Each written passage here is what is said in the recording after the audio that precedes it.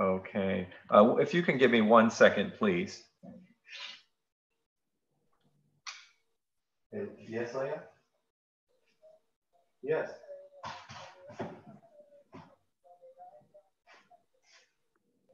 Okay.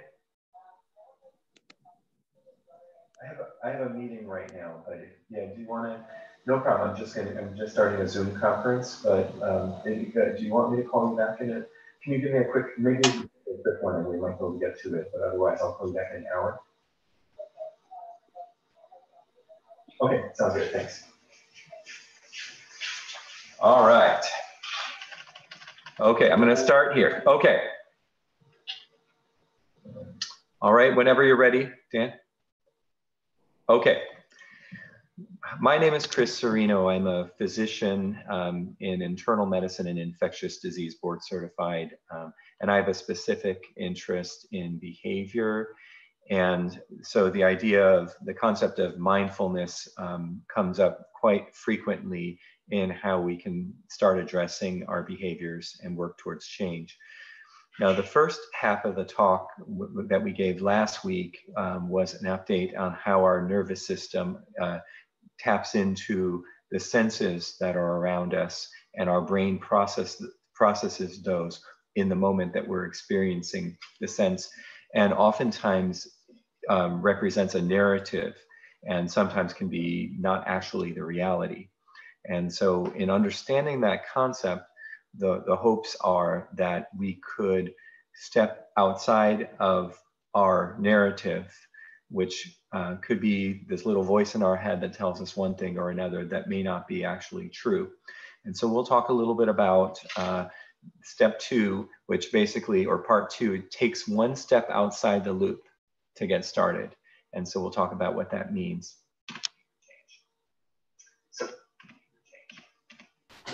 Okay, so uh, behaviors, as I recall, uh, re reviewed with you last week, in many ways, um, our nervous system, as it was developing and pruning excess neurons, um, and we were developing into a mature brain um, when we were born, much of the original signals that we sensed were personal needs. We needed to have food, we needed to be warm.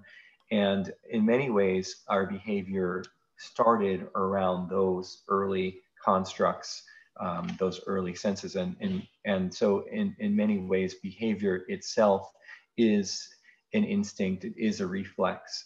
Um, you know, one of the hundreds of reflexes that a baby has is a crying reflex. Um, and certainly it serves a purpose um, to, to express that the baby has a need. And so in, in many ways, our behaviors developed even early on before we actually understood words. Um, so, um, and, and I wanted to review this concept again about the fact that we head towards things that are positive to us or that provide us pleasure or reward and we tend to sway away from things that um, cause us pain. Now, that is, these are simple um, reflexes, simple conditioning measures that, that, we, that our brain protects us uh, with. Now, sometimes negative behaviors can be perceived as having out, um, positive outcomes or effects and vice versa, triggering repetition or avoidance uh, behaviors. Um, I also would say, in, in, in, and this is sort of the concept of resilience and developing or grit, is that sometimes a pain or discomfort can be a transitional zone as we improve ourselves. Um, I am reminded frequently when the children uh, tell me, Dad, I'm feeling bored. Um, and, you know, we think of what boredom is to us. It's a feeling of just kind of a gnawing feeling of of having to move around, wanting to do something, in a way that's a craving call to doing something um, simpler. And, and sometimes it's through that boredom that there that there's a room, there's sort of a, a void where creativity can fill. So behavior is regulated by neurotransmitters. A change of the behavior is possible. And as the behavior changes, the brain changes. And that's, that's a wonderful concept of neuroplasticity Um, just as I gave you those examples about the taxi cab driver study, um, uh, this, this applies to anything that we do in our life, not just driving a taxi or playing a musical instrument. It's about the way we process what is around us. Um, I will review uh, some of the basic concepts of these neurotransmitters. To suffice it to say that these are chemical signals between nerves, and um, essentially these chemical signals can be not only reflexively um, um, provided in a sense by our brain, but they can also be actually, you know, kind of guided by our thought process. So in, in a way, um, our prefrontal cortex can generate various, um, various signals. So it's that in, in that way, we've got things, we have glutamate, which excites receiving neurons, and GABA, which inhibits receiving neurons, serotonin, which our brain is very uh, sensitive to, um, is actually mostly made outside of our brain, um, specifically in our gut. 90% um, of serotonin is, is, is, um, is um, made in, uh, outside of the brain. And that gives us this sensation of pleasure, um, in some cases, uh, any sort of this physical attribute to an, emotional state. And um, we know that because when you have excesses of neurotransmitters like serotonin, we see physical changes in our body. We have a fast heart rate, we get flushing, we get um, you know diarrhea, we get these physical changes that occur. So we know that um, serotonin has more of a uh, sort of the physical side of of enjoyment. And you can imagine anytime that you experience uh, an emotion such as pain or pleasure, why it could also be experienced not only in the brain level, but sort of our entire body. You may remember situations where you felt pain in your finger or something, and all of a sudden that's the only thing that you're thinking about. Um, with dopamine, as I was saying, it's sort of like on the fence type of a, a neurotransmitter that's calling. And in fact, um, it's, you know, its excesses or changes can, can lead to that signaling. And so sometimes if, let's say someone, I'll give you an extreme example, someone who uses drugs is now recovered for the last two months when they when a person walks by and sees a situation um, where they they remind themselves of drug use the dopamine will then send out a, a spike. And that spike is sort of a call to uh, to the action. And so in ways we are we are we are not only if you think about being in the water you know where the waves are hitting at us not only are we you know, responding to that, but we can actually, uh, not only do we sense that, but we can respond to that. We can create our own actions. And so too, the, the fact that we can signal our own neurotransmitters through, through what is in our thoughts. And that can change our brain. So it's kind of a very fascinating concept. Um, I, I want to mention about emotions because we're going to be talking a little bit about COVID-19 um, at this talk. So think of the brain as a sensor and effector. So it's not only sensing, but it's actually changing or active, active, acting on it. Um, we think of our emotions, um, you know, there's movies that sometimes depict, you know, there's this specific emotional state, you know, as a creature, it might be a cartoon or something. But our emotions are really not in just one place. There isn't a, a, a signature in that way of what an emotional experience is. It's not like part of our back of our brain or the front of the brain. No, it's it's actually uh, multiple places that that help to create an emotion. It comes from memory. It comes from you know a physical response. Um, and so uh, sometimes um, um, the newer techniques such as functional MRI uh, which is essentially a way to assess activity in the brain during a state. So you can tell someone, you know, I want you to think of a happy thought. What does the brain do at that time? And these are this is this comes from a, a an article here in 2016. They, these are the images that they showed, but um, you can see in many ways these uh, states um, require many of the same parts of the brain but in and of itself that they're slightly different with the voxel measurements which are you know the the image uh, coalescence of, of, of, colors here, um, you can almost find a signature to, to, uh, to an emotion. So um, think of it this way, is, you know, when someone recalls an emotion, they may recall a memory uh, uh, of, of the past when they've experienced that emotion before, uh, such as a pain or a pleasure. They may recall um, a twist in it where, uh, although it was painful, they, they feel a pleasure to it. Um, there may be a physical response. And so all of these things are getting called up in the brain. Um, you know, so it is a very multi, uh, fo uh, there are multiple foci. But here's our fear, and this is depicted by the fear here. And, uh, and in COVID-19 uh, pandemic, we've got you know some reason to to you know really feel or palpate the fear.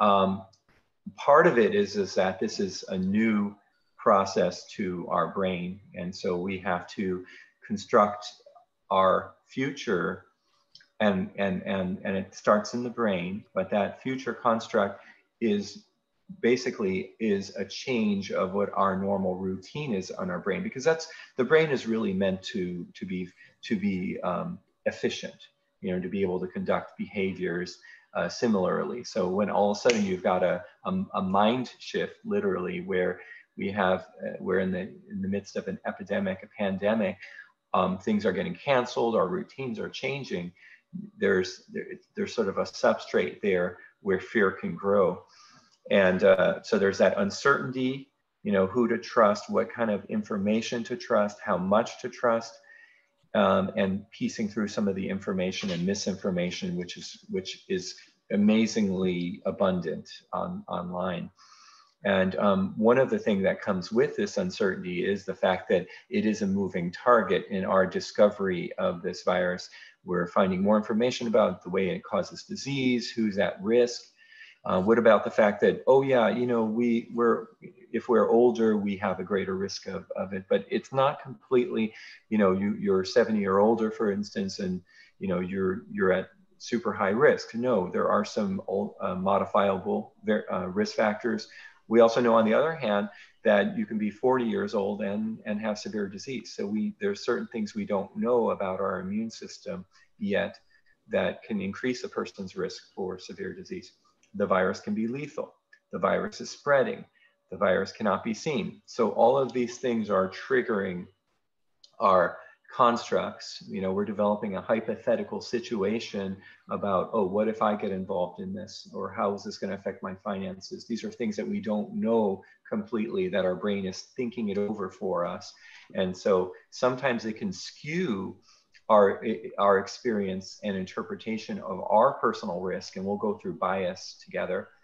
And then fear can focus our thoughts on these hypothetical situations and actually alert our fight and flight response, which I shared with you last week. That is um, very useful, but on the long term, it not only doesn't make it doesn't make sense to have a fight or flight response um, every day, but it's also uh, um, um not uh, helpful for our, our, our living a state of wellness. It affects our immune system, it affects our vascular system, and it affects um, the way our brain um, changes because of the neurotransmitters that we talked about and neuroplasticity.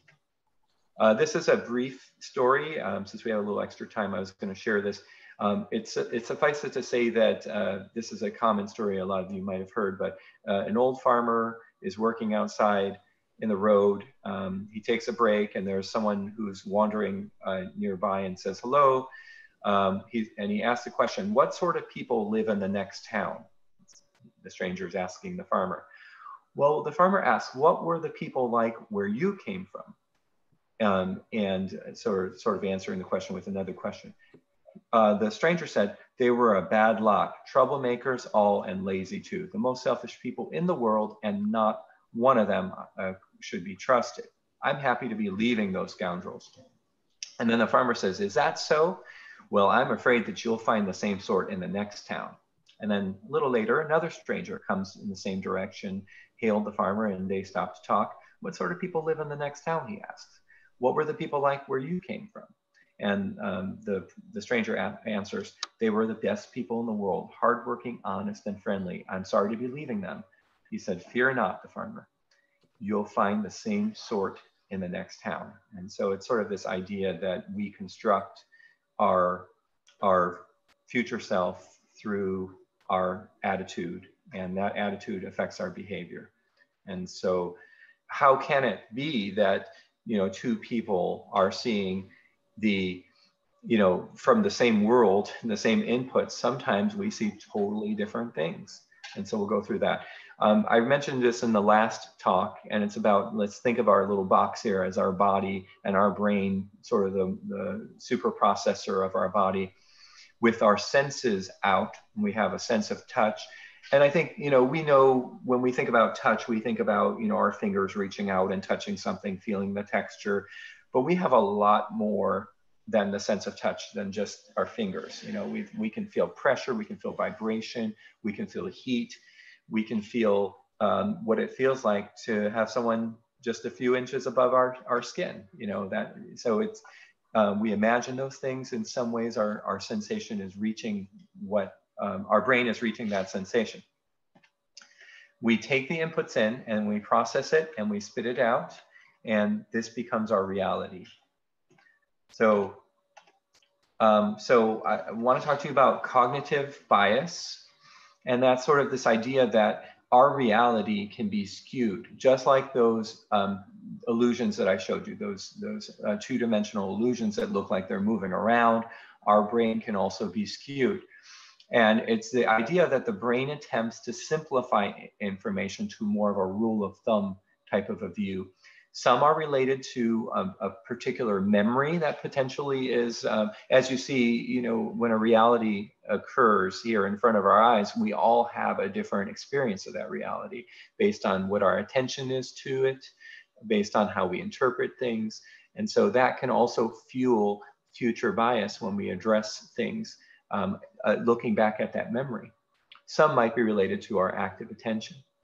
There's processing errors that occur as we re retain things. Um, and it, it, calls into question this idea of, you know, how much can a, a, a star witness be able to, you know, spew out the, the, the actual events that occurred and and that becomes very hard. I you know the best thing in, in many ways to capture the memory is to immediately get it right before all it gets involved in our memory system. So you know so there are different things that that lawyers for instance can do to try to um, get the best story.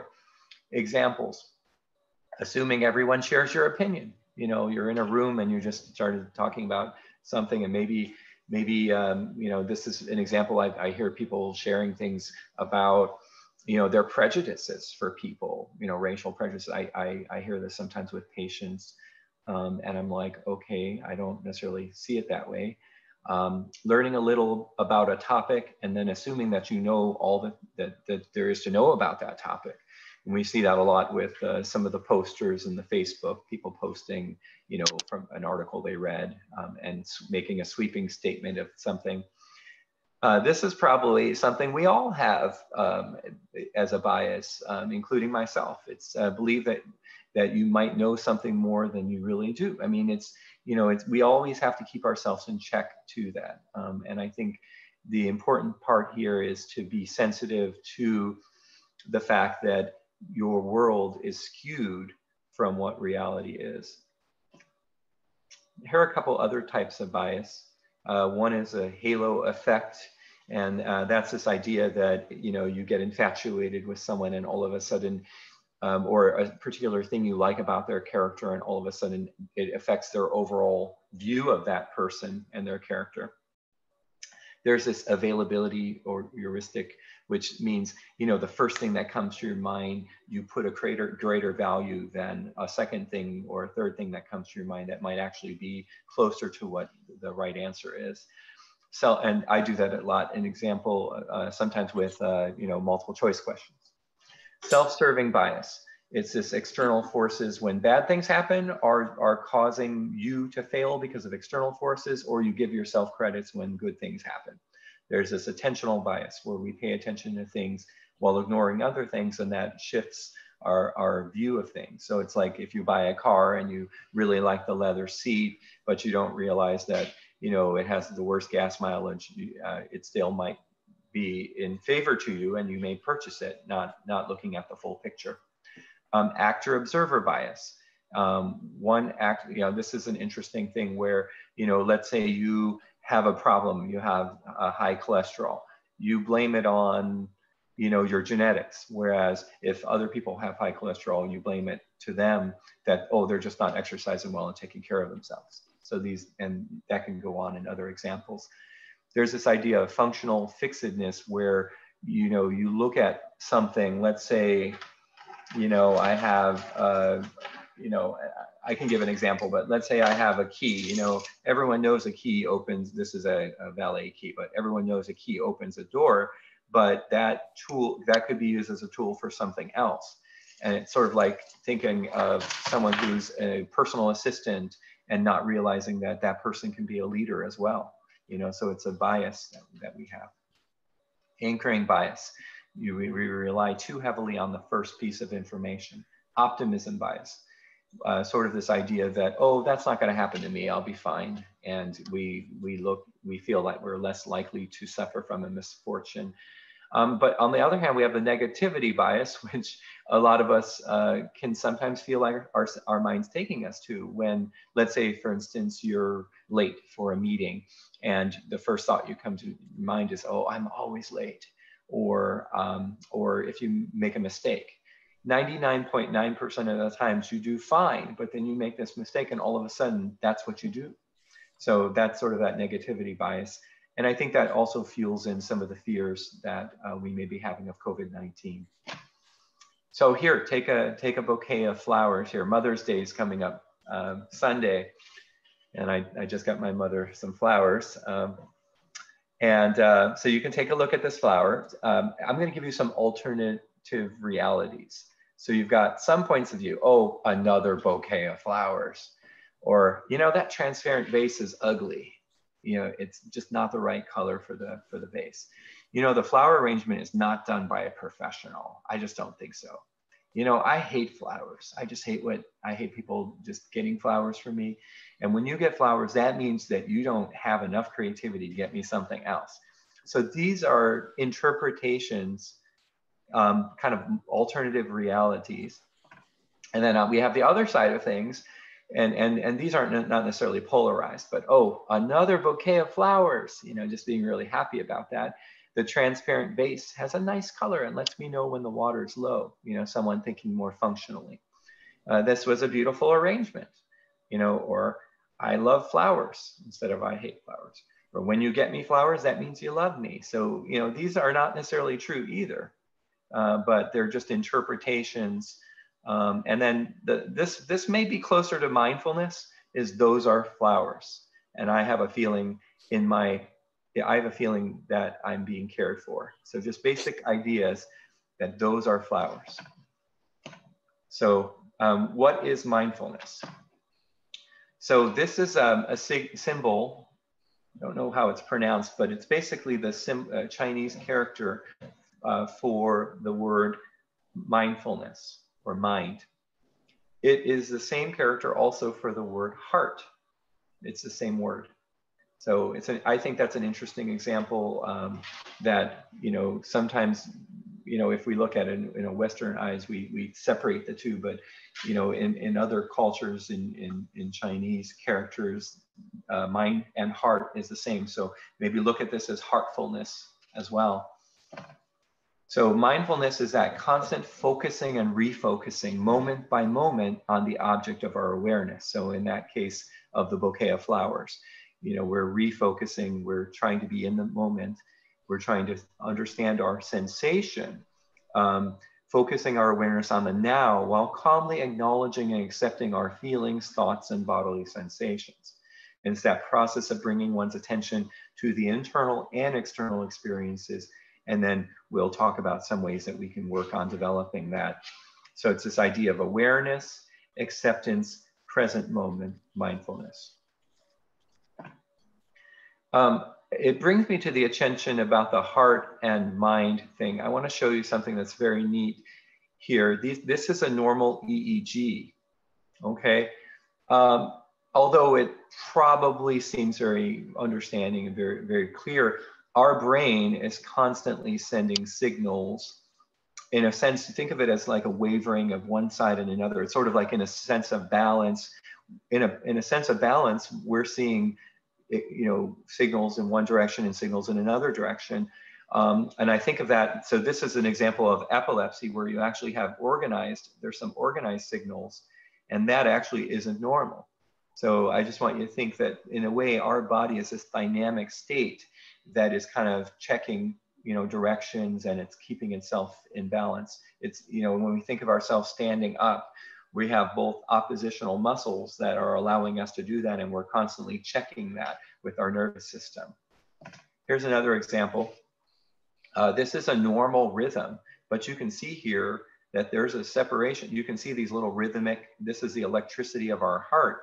And you can see you'd like to see it in a nice pattern, one, two, three, four, but here it changes. And what happened is a normal signal of our heart in response to breathing.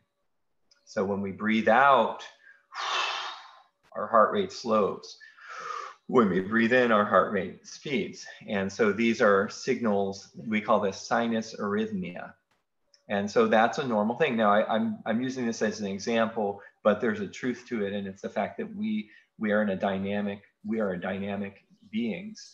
And so too with mindfulness, you know, checking and constantly uh, checking the, the feelings that we're experiencing, realizing that the feelings in some cases could be triggered by reflex um, that may not be actually what's going on. And sort of, sort of like seeing yourself in the forest and outside of the forest at the same time. So what are some examples of mindfulness and mindlessness?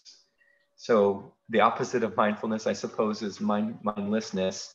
Um, but interestingly enough, there, it's a paradox. In, in some cases, in being in a mindful state is almost like your mind isn't um, completely focusing on the past or the or the future it's focusing on the present so in a way it could be the paradox of mindfulness is is not really having to uh, to worry about things so kind of being mindless so uh, an example of mindlessness is getting offended when someone disagrees with you. And the opposite of that I, I suppose would be listening to understand their difference and understand and clarify. Getting angry when someone cuts you off in the road or speaks over you is another example of getting um, feeling mindless. Versus calmly reflecting on what is happening listening to what the underlying source of the concerns are and asking him or her clar clarifying questions. Another example would be your child doesn't want to go to bed so you get frustrated and you get the belt out. And you know uh, parents have all been through that situation. I, I certainly have and i've i caught myself and i thought to myself you know this isn't getting the message across that I love my child, but that I'm, I'm frustrated. Um, what it's getting a message is that, you know, that the child is not able to be ready to go to bed. They're, they have issues that are unaddressed.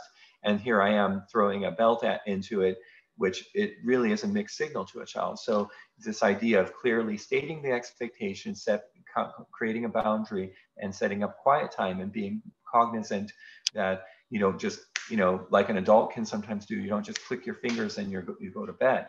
You need a little time to prepare. So these are some of the key words. Angry, peaceful, calm, still, going from mindlessness to mindfulness, frustrated, tolerant, offended, hurt, seeking to understand, stressed, relaxed, begrudging, forgiving, aversive or passive to directive and assertive, right? We don't, eh, you know, to the opposite of not being, a, a, a, um, the opposite of not fighting and is, is not just ignoring a problem if there's a problem, right? You want to be assertive to making sure that you, that people understand who you are and what you stand for. There's this idea of passivity that um, some people get into this cycle where they want to avoid confrontation, but essentially what they're doing is they're eclipsing themselves in their passivity. So it's about being directive and assertive. Draining and destructive versus restoring and creative. You know, and I, I, think of it in many ways. Um, if you think about a bully and a bullied, that kind of classic uh, paradigm of a bully and a, a, a, bullying person versus a bully person, in many ways, they're they're you know the opposite sides of the same coin, and so there's needs that are not getting met. And I like to look at it also as you know, if you think about the fact that we have these constructs in our brain that shape who we are as we are right now we have multiple thought processes um, that th those behaviors, given that they've rooted in, in much in our, our infancy, in a way, when someone cries out, you know, or stresses out or feels angry, yells at a person, criticizes a person, any of those things that I guess we all kind of, you know, we, we all kind of settle in sometimes. It's sort of like their, their, their baby crying that they have a need.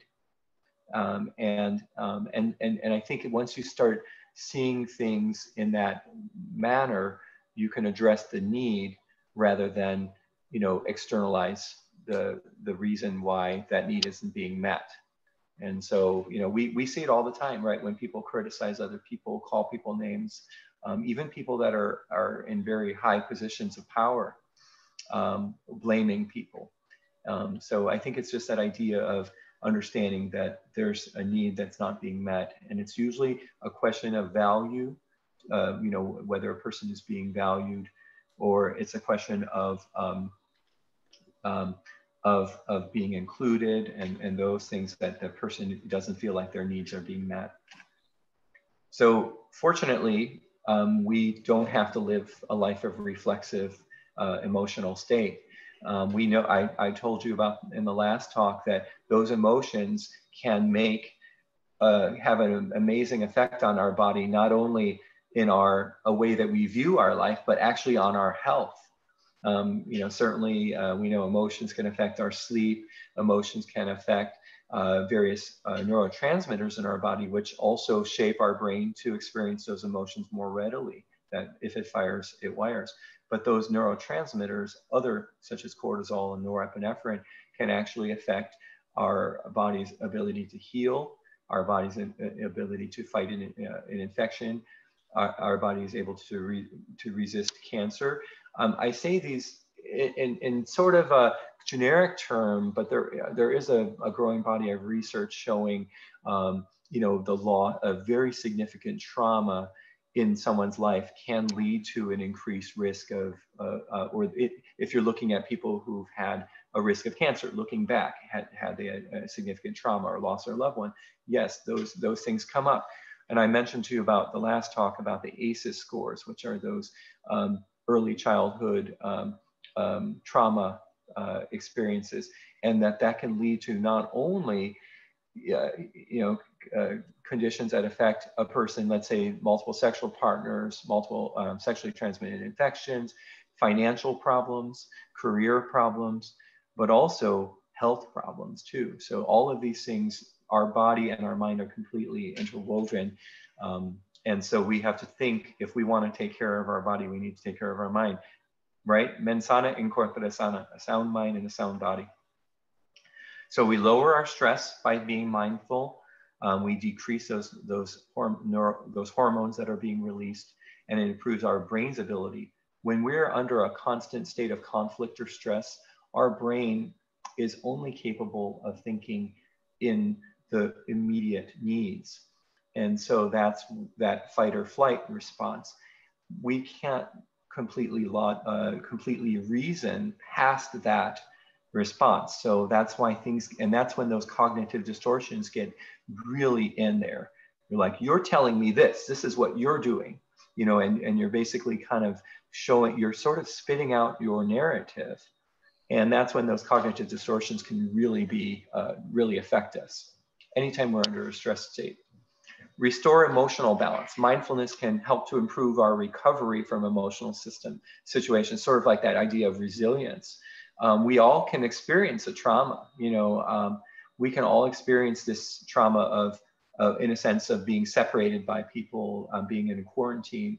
And some studies have suggested that a quarantine experience, in a way, is like a trauma enough that people can experience post-traumatic stress disorder afterward. But it, you know, the person who has that mindful awareness that they're developing that, they they're sensing when they could potentially be at greater risk and then they do the self-care that's needed. So it's sort of this constant check and balance um, that you know so we can all experience a hardship like a death of a loved one but it's that check and balance that um, that the resilient mind offers to protect our mind for the future and our body for the future. Um, this idea of reducing anxiety um, um, mindfulness has been shown to decrease anxiety in adolescence that's a time where mindfulness is important because there's a lot of cognitive distortion going on um, and it improves concentration. And that's that idea, again, if you're focused, if your brain is constantly receiving a barrage of these neurotransmitters that are trying to keep it safe, either by fighting or, or fleeing, um, we can't really, it's just, just a great distract, distraction of, of what we need to get a task done. So I'm going to offer some strategies to mindfulness. Do we have any questions at this time? All right, well, this is the fun part. Um, so, so if our brain is completely linked with our body, our body can be the pathway to mindfulness. Um, it doesn't have to be this kind of mystic meditation or retreat or you know being in a, a you know in, in a, a, hermit for instance to be mindful um, if you think about it we can be mindful um, during the day in a package, you know, where we just take care of ourselves. We do, we take ourselves for a jog, you know, once a day we, we exercise, but we also have to be aware that mindfulness needs to be going on at all times. So this idea of mindfulness minutes or milliseconds or instances. Um, so if you think about our body, these are, I'm, I'm going to talk with about the fact that our senses totally linked to our brain, we can achieve some mindfulness through interacting with our body. Um, so touch, such as massage, healing touch, shiatsu, uh, various smells um, can help to restore a state, particularly because smell has a memory, and um, and that's a that's an application of a of, of, of a memory that's personal. So let's say if I, you know, gave you a pine tree smell, and um, and that pine tree smell reminds you of when you were involved uh, when the house got on fire because the Christmas tree was on fire. That pine tree smell may not give you a relaxing, uh, um, you know, uh, may not give you relaxation to smell it. So it's a very personal experience. Um, visual, visual kinesthetic, and that's moving your body and you know doing doing things that are using your your vision, your movement, and, and much of these overlap. Remember, we talked about the brain, the fact that, you know, when we do a task, like let's say we play an instrument, you know, we're using our, our, our vision, we're using our hearing, we're using our movement and our memory. All of these things are just kicking in. Um, and then there's movement and positional like Tai Chi, yoga, exercise, walking and jogging. Now, these, all of these, these are not uh, meant to be, you know, black and white things because many of these things overlap with each other. There's the CNS sympathetic and parasympathetic um, approach, which would be, and, and again, these types of things on the top on number one will affect the sympathetic and parasympathetic. So we got meditation, we have good sleep, um, which is very important for keeping one calm. We have relaxation techniques such as breathing or music, mindfulness instances. Uh, so one way of, of getting mindful, you're hearing the storm around you. And, and it's the idea of being able to focus and, um, you know, sort of center yourself as there's a storm around us. And that's that storm of reality. You know, I've got three kids in the house. They're yelling, if they're yelling at each other or they're playing games, I hear them running around. It's that idea of being in the calm in that storm of sensation. Um, in one example, this was a study here, um, oh, I don't know what date it was. I believe it was in early 2000. Massage therapy and depression. Um, this was a meta-analysis of 17 randomized control uh, trials that showed a positive effect on depression by getting massage. And so touch, you know, touching, even self-touch, you know, if you want to give yourself a self-massage, um, probably um, is a step in the right direction. It lowers your cortisol levels. It is a relaxation state. And by doing so, it also decreases the risk of depression. So it's your, it's your, it's one of those things you turn your mind on. If you feel you're getting in that direction, then you, then you help, you help yourself get out of it. Um, I talk about art, and I'm in the process of writing uh, a book about art, the brain, and the pandemic. Um, it's quite a um, a task because it's not completely in my uh, in in the realm of my um, normal comfort zone in infectious diseases, but it, it's also quite a wonderful learning experience.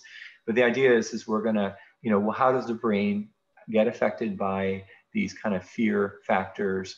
And um, how does art potentially serve as both an outlet to the um, to the artist, but also the observer? So um, when you're doing art, multiple skills are are being in, um, in, are being used or being applied sensory, motor, prefrontal, and hippocampus as far as positional and memory. And, um, and so there, there's a multiple kind of activation of our brain. And we know when we activate our brain, our brain is stimulated and our brain is stimulated to grow. So um, that's what I was saying about if you were activating your brain to be sad, your brain grows to the direction of being sad more easily. But so too with any of these skills, when you activate your brain, the brain, you know, triggers, it, it grows. And, um, and so um, it can, this, the retention of art, the skills of, of art can be fairly resilient. Uh, uh, some studies looking at people after stroke um, are still capable of, of drawing Similarly, um, if there are certain centers that are affected um, where there, for instance, um, neglect, because some sometimes uh, part of our we, uh, part of our brain, the parietal uh, area, and I don't know this, I forget the specific center in the parietal uh, area of our brain. When that, uh, when we get a stroke in that area, we develop what's called hemi-neglect, where we don't even realize we have our other side of our body. And so, I, I, and it's again, not on our face, but on our, um, well, it can be on our face, but it's on the opposite side of our, our body where, where the stroke is.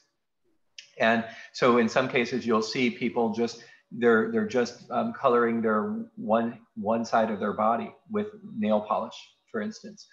Um, that includes when they draw. They may draw an image of one side. They may not be capturing the other side if they're copying a drawing. And so that idea of hemi neglect. But other than that, for the most part, stroke, um, through stroke, um, art can still be a fairly resilient and retained skill. Um, and some people even have stories of becoming artists after a stroke, um, so newly developed. So we know that the brain can can develop new, you know, neural circuitry um, even after an injury like a stroke. Uh, similar neural pathways are used in communication. So in written and um, spoken communication, we're using the similar neural pathways. And, and of course, you can, you can see that with writing. In some, um, in some um, countries, the writing is a symbol. Um, and, and you can say, well, our letters are a symbol too, absolutely.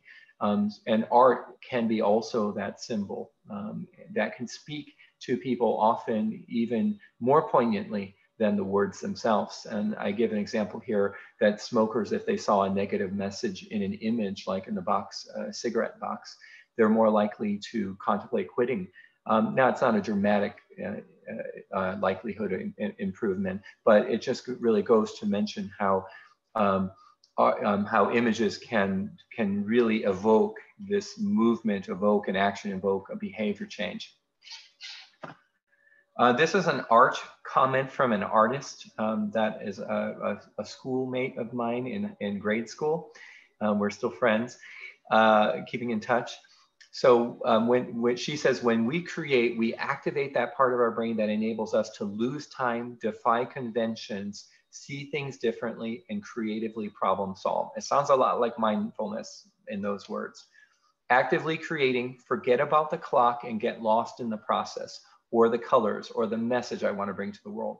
I lose myself in something I love, like a bluebird or a tree, which helps me forget about the number of coronavirus cases climbing or whether I wipe down my shoes.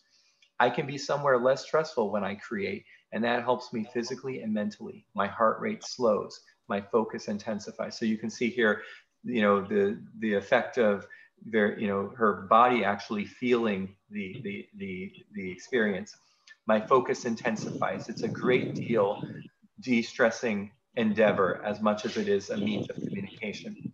Inasmuch as much when I need to work through feeling or a situation, one second, I gotta turn this person's speaker off. How do I do this? Okay, got it. Inasmuch as when I need to work through a feeling or a situation by working in my right brain, I can process feelings on canvas rather than keep them bottled up, similar to dreaming. I can splash and wash, blot, spray, and use color to get my feelings out that way. Making art is one of the few things I can do where I can come out at the end of the endeavor with a finished product to bring to the world that can hopefully help them in some way as much as it helped me in the process. So that um, so that's a, a, a message that was shared by a, a friend of mine. And this is her one of her art projects. Okay, let me just find out what's going on here. Okay, great. Uh, mindful movement. Now we'll talk about move, movement. So we know about yoga. Yoga is putting yourself in positions and breathing deeply. Much of yoga is about inspiration and expiration, it, as much as it is about um, stretching. Um, so, so with the inspiration, you often um, are getting ready, the intention, and then when you expire, you're making that stretch a little further. And so you're stretching those muscles, the tendons, the nerves are sensing that, and they're creating a stimulation to the brain, but you're also stimulating your brain, brain to relax, you're, re, you're causing your brain to relax through your breathing. So sort of a multi-sensory way of, of channeling uh, uh, ways to relax yourself. Tai Chi is similar in that way. It's a movement that is a structure, and that structure is experienced as you go through it. Um, you know, every time you do that structure, you have a different experience. So it's sort of like seeing a river and stepping in the river. You know, the river is moving in that experience. You're feeling that.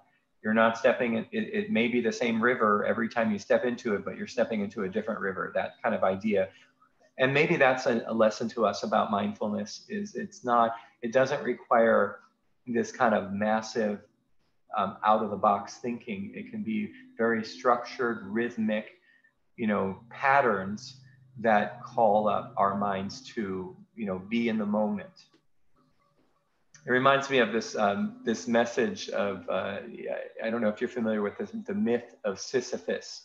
That's where uh, it's a Greek um, uh, story, a, Greek mythology story, where um, this person is sort of con condemned to roll up a stone to the top of the cliff, and then all of their work gets just washed away when it it comes back down, and then they have to start all over again. In that task, we have our experience. We it captures our experience for that moment. So whatever that may be, you know, think of our day to day that way hopefully not completely burdensome as, as Sisyphus. Walking, jogging, and other exercises are, are also mindful in that way, and martial arts as well. Regular exercise is protective for the brain. It may actually reduce cognitive impairment. Um, probably more, you know, they have all these different puzzles and things that people can go through to reduce uh, cognitive impairment probably the best thing that they can do is physical exercise. Think about it. We're getting our, we're patterning, we're getting our bloodstream, uh, you know, filtering through, we're, we're pumping our heart in a healthy manner. Um, 20 to 30 minutes of exercise sustained is, is useful. Um, exercise reduces the inflammatory status of the brain. It, um, and you can imagine probably why it's occurring. It's probably from, from the circulation effect uh, and, uh, and kind of removal effect. Um, exercise restores the immune status of the brain. Um, this was a study in 2015. They did um, fMRIs uh, after exercise, which showed improved uh, cortical connectivity. And some of the chronic inflammatory markers were down with increased, um, with increased exercise. We know that those chronic infl inflammatory markers are associated with cognitive dysfunction later on. Movement and the brain. Um, that's a little bit too complicated to mention here. So, um, and then finally, meditation. Um, there was a study looking at meditative training with relaxation training, um, and that FN, uh, functional MRI studies of 35 found connectivity of these various areas of the brain um, increased with meditation training, but not relaxation training. And then also inflammatory markers were decreased after four month follow up in the meditation group. So what I'm saying here is, um, I don't think you need to, you know, book a book a course in uh, transcendental meditation, but you know, there is something to say about meditation rather than you know just taking a few minutes to relax. I think we can all, um, you know, just and, and and the interesting thing about meditation is it is that very that very cadence of of experiencing our breath, experiencing that moment. As you experience that moment, things will kind of jump into your brain. Those are the past or future um, things that your prefrontal cortex is dumping out. But as we're experiencing that, we recenter. And it's really more on that kind of thinking about not thinking, you know, sort of being in that moment. And that's why it's, it's sort of that paradox of mindfulness is, in a way, letting go of all those thoughts. Uh, this is a, a, final slide, and I, I want to invite you to think about where you where you can be. This is this who do I want to be during COVID-19? And you've got this fear zone, which we talked about, that kind of fight or flight response, where I get mad easily. I forward all messages I receive. I complain frequently. I spread emotions related to fear and anger. I grab food, toilet paper, medic- medications that I don't need. Yeah, I, I, it still baffles me. And I, I could imagine a PhD psychology student might want to do a, you know, a this dissertation, a doctoral thesis on why, you know, why the toilet paper ran out so quickly. Uh, but, but, you know, it, it, it kind of goes into this idea of fear and, and sort of protecting self.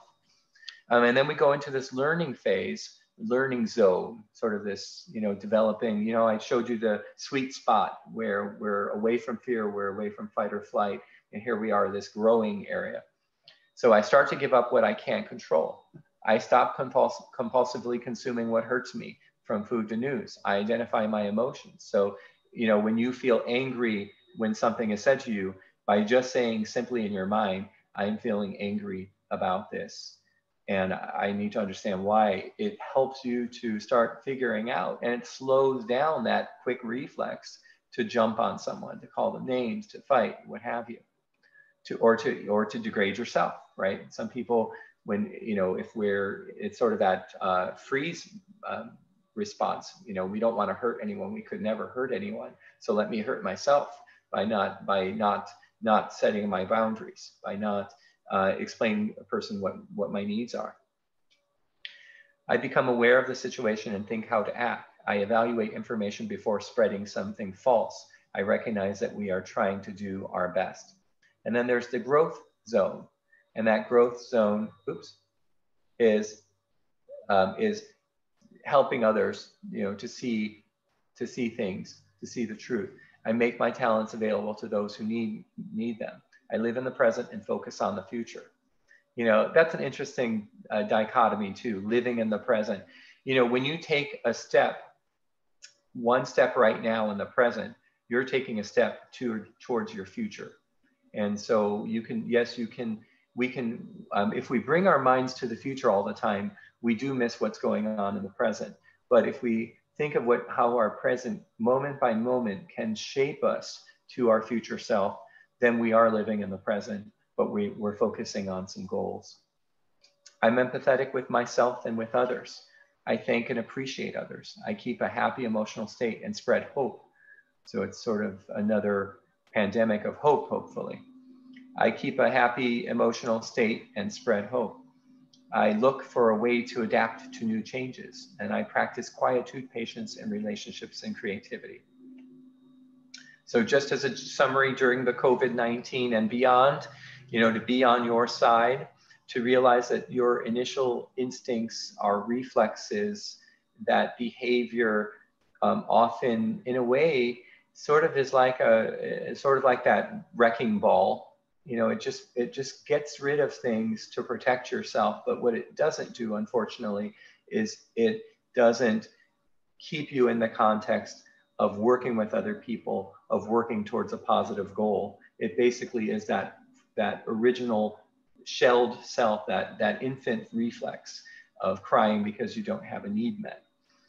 And that happens to everyone. You know we i could be i'm in my 40s I, I can be in my 50s and i can still have those signals. I can be in my 70s you know like uh, some of the leaders are and they can still be in those signals too. Neurons that fire together wire together discover the w- wonderful role that was there all along you know and it's uh, it's understanding bias and it's understanding um, that you can literally reshape your view Exercise, meditation, and hobbies are likely to aid in the development of brain growth, and small positive actions add up over time. So thank you so much. Um, my information is available on my uh, blog or health information set, site called Your Health Forum by drcirino.org. And um, my website is uh, www.yourhealthforum.net and I'll be posting this um, in case um, you wanted to review this again. Are, are, there any questions? I have a question, Chris. Yes. Yeah, well, first of all, thank you for such an amazing, brilliant, uh, helpful presentation. Oh, you're very welcome. Really. Wow. I, I just uh, I wonder if you've ever come upon any studies that link changes in atmospheric pressure to the inner ear and thereby increasing people's tolerance for stress. And Stanford did a study a long time ago correlating the whole year of police reports to meteorological changes at the San Francisco airport. And they found a direct correlation to an increase in violent crimes, suicides, things like that, wow. to changes in atmospheric pressure. Well, that's interesting. I mean, um, I I, am I'm, I'm trying to, I can't link it up completely, but I, I do wonder, you know, I, I, I can only put it as a, a personal note.